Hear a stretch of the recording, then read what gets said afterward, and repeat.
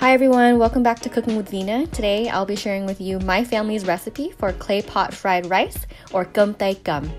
What I love about this recipe is that the last step entails crisping up the bottom layer of the rice in order to bring out the really earthy aroma and adding crispy texture to that rice that we all love.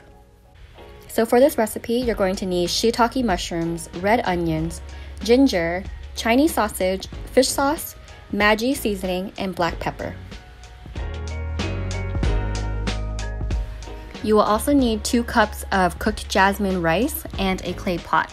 For the clay pot, you can easily find this at Asian grocery stores, and I've also used the Korean stone pot uh, for this recipe as well.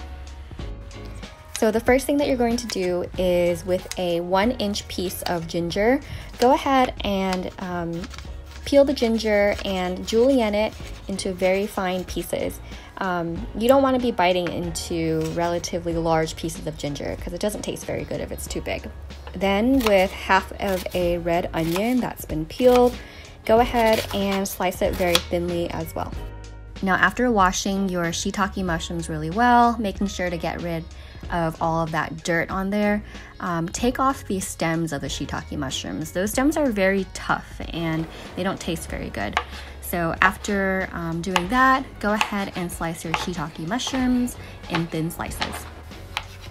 Next, you're going to need one link of Chinese sausage and I'm just cubing them here. Now on about medium to medium high heat, go ahead and add um, some olive oil to your pan. And the first thing that you're going to add is the red onions. Uh, your goal is to caramelize the red onions and to really extract all of that flavor. After the red onions have been slightly caramelized, go ahead and add in your sliced ginger and let that cook until you smell the aroma of the ginger. Now add your Chinese sausage and cook that until you see some of that fat from the Chinese sausage start to render. Now once your mixture looks like this, go ahead and turn off the heat and set it aside onto a plate. Next, you're going to start cooking your shiitake mushrooms. Just place it into a pan, add some more olive oil if needed, and in order to help it kind of sweat a little bit, you can add some dashes of Maggi seasoning to not only add flavor, but to help it cook down a little bit faster. Now after the shiitake mushrooms have cooked and browned nicely, go ahead and add in the mixture that you made before. Mix it well to make sure that everything is really well incorporated.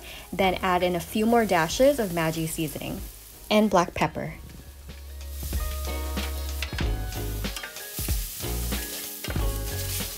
Then go ahead and add in your rice and break it up with the spatula pretty well just so that you don't have big chunks of rice. Then what you're going to do is add in some dashes of Maggi seasoning again in order to create a even layer of Maggi seasoning over your rice and mix that really well.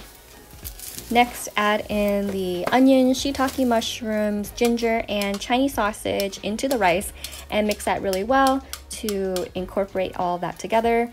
Add a few dashes more of Maggi seasoning if you notice that your rice is still a little bit white, just to add some more color.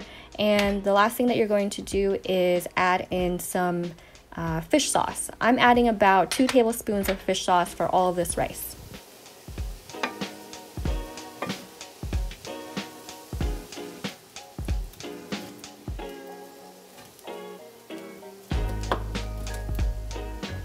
Now after all the ingredients and the seasonings have been well incorporated, go ahead and prepare your clay pot. On medium heat, you're going to add a little bit of oil to your clay pot. Let that heat up, then you're going to add in your rice. After you've added all of the rice to the clay pot, go ahead and close the lid of the clay pot. What this does is that it helps the rice crisp up a little bit faster and it traps in all of that good flavor. Now everyone's stove and clay pot is different, so be sure to keep an eye on your rice to make sure that it doesn't burn. Now once you've seen that crispy layer of rice at the bottom of the pot, go ahead and take it off the heat and serve and enjoy. It's seriously so satisfying to hear that rice crisping up at the bottom.